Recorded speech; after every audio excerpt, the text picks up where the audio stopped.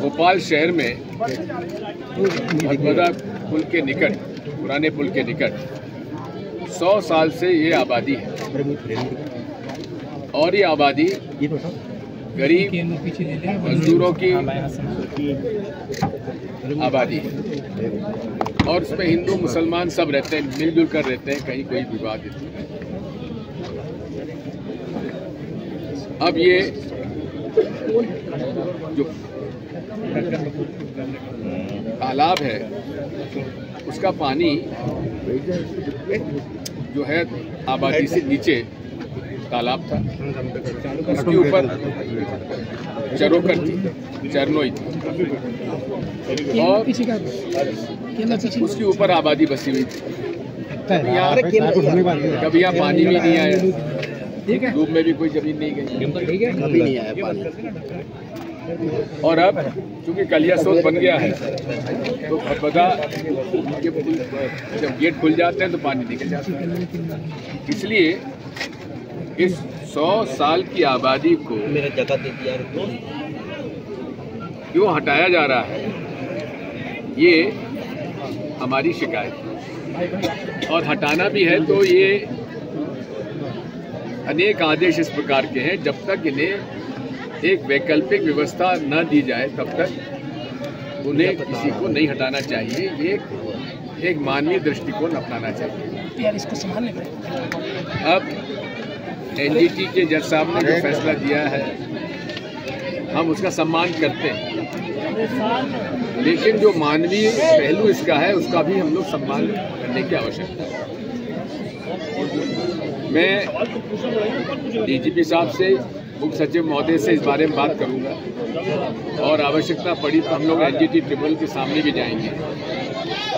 इसी दो सौ इक्यानवे नंबर ये वक्त में भी रजिस्टर्ड है।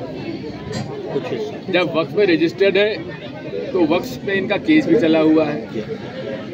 इसलिए हम चाहते हैं कि अभी तत्काल इन्हें यहाँ से न हटाया जाए और इंतज़ार किया जाना चाहिए एनजीटी के फैसले का और वफ के फैसले का।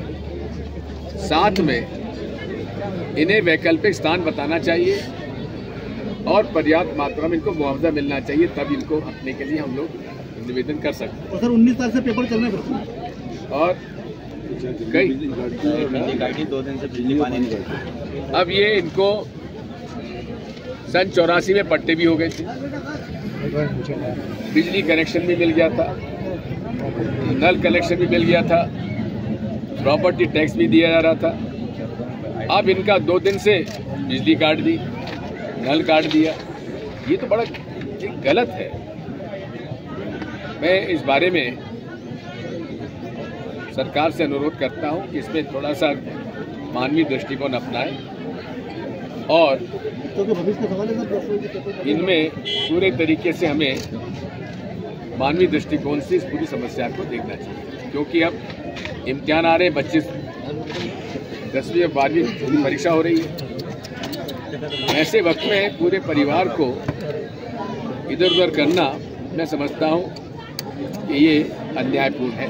इस बारे में हम लोग इन गरीब मजदूरों के साथ खड़े हुए सर कमलनाथ जी का जाने का चल रहा है बीजेपी में और आज शाम को दिल्ली में है सर और दिल्ली में है और मैं मैं उसके बारे में बात करूँगा आपसे। लेकिन एक शर्त पे करूँगा कि मेरा ये आप रिकॉर्डिंग अपने पूरे चैनल पे दिखाएँगे। लाइव चल रही है सर। लाइव चल रही है। तो ठीक है।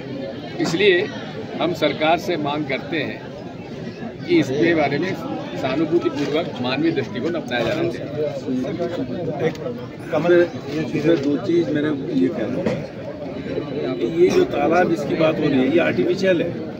ये पानी बाद में आया इसमें ओरिजिनल तालाब के खतरे में नहीं है ये।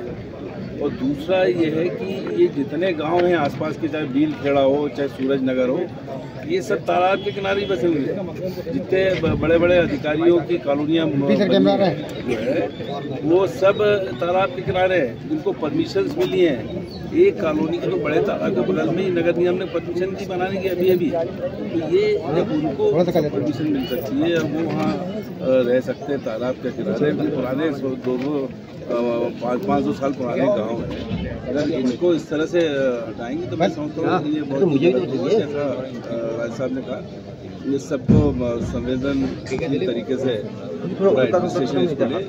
और खुद ही एनडीटी में पहल करे कि हमको समय और दिया जाए इन- इनको समय दिया जाए बात करने की अपनी बात रखने का। सर कमलनाथ जी कमलनाथ जी आपके यहाँ शामिल होने वाली बीजेपी है सर। रुक जाओ धीरे धीरे